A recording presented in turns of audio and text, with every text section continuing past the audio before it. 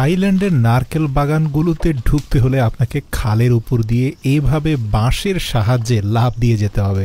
প্রিয় দর্শক, দেখে মনে হতে পারে যে নারকেল বাগানের ভিতরে কেন এরকম পানির খাল প্রবাহিত হচ্ছে?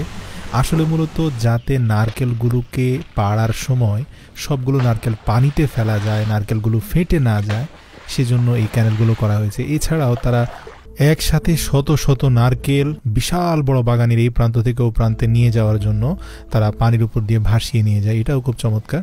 তারপরে দেখা যায় যে একটা ট্রলিতে করে নিয়ে যাচ্ছে এবং ফ্যাক্টরিতে নিয়ে একটা স্বয়ংক্রিয় মেশিনের সাহায্যে নারকেলগুলোকে রাউন্ড শেপে খুবই চমৎকারভাবে কাটিং করছে এবং ধারালো চাপাতির সাহায্যে এগুলোর দু প্রান্ত মসৃণ করে নিচ্ছে। এরপরে কনভেয়ার বেল্টে করে একটা স্বয়ংক্রিয় পানির চৌবাচ্চা নিয়ে ফেলা হচ্ছে। সেখানে ব্যাকটেরিয়া নিরোধক পানির মধ্যে চুবিয়ে পরিষ্কার পরিচ্ছন্ন করে নেওয়া হচ্ছে এবং এরপরে এমন একটা পিন গুঁজে দেওয়া হচ্ছে যেটা খুবই চমৎকার এবং এখান থেকে কিন্তু প্যাকেজিংটা কমপ্লিট করে সরাসরি সুপার শপে চলে যায়। সেখানে আপনি এটা কিনে জাস্ট এখানে তিনটা স্টেপ আপনি দেখবেন যে নারকেলের উপরে দেওয়া আছে। এই তিনটা স্টেপ খুব সহজে অনুসরণ করে যে কোনো ব্যক্তি এই নারকেলের সুস্বাদু পানি বা কুচি ডাবের সুস্বাদু পানি তারা পান করতে পারে।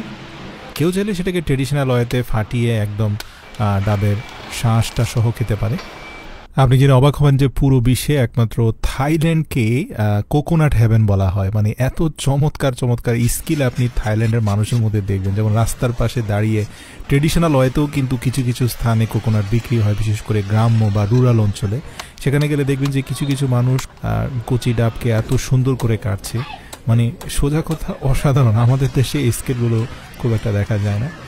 এছাড়াও যে নারকেলগুলোর শেল খুব ভারী হয়ে গিয়েছে বা যে নারকেলগুলোর শ্বাস খুব শক্ত হয়ে গিয়েছে, সেগুলোকে অসাধারণ কৌশলে চাপাতি দিয়ে একটু একটু করে কেটে তারপরে সেখানে অত্যন্ত সতর্কতার সাথে পাতলা ব্লেড ঢুকে দুপাশ থেকে ভারী, মজবুত, শক্ত শেলটাকে সরিয়ে দেওয়া হচ্ছে।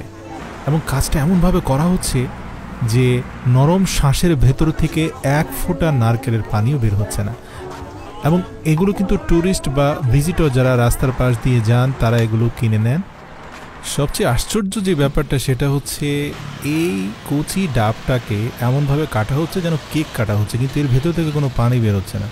অতপর দেখতে পেলাম চারপাশ থেকে এটাকে পিল করা হয়েছে এবং ভেতরে থকথকে জেলি বা আইসক্রিমের মতো একটা বস্তু।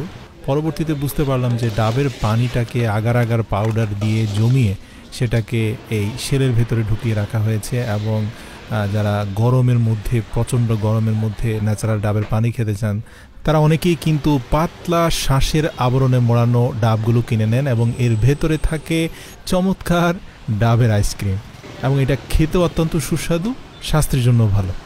প্রচণ্ড গরমে এর ন্যাচারাল আইসক্রিম আপনাকে অত্যন্ত প্রশান্তি দেবে।